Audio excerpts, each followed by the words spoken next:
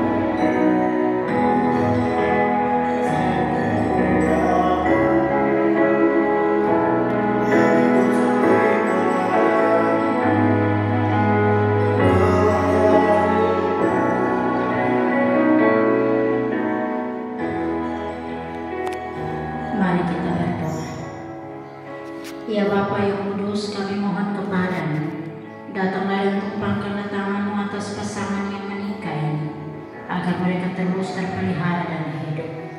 Berilah mereka kekuatan rohmu untuk memimpin mereka di jalan yang benar.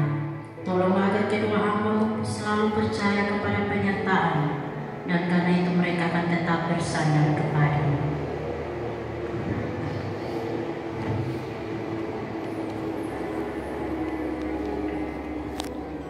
Tuhan memberkati kamu dan memelihara kamu. Tuhan menerangi kamu dengan wajahnya dan mengasihani kamu. Tuhan mengangkat wajahnya ke atasmu dan mengaruniai kamu damai sejahtera kini dan selama-lamanya. Amin.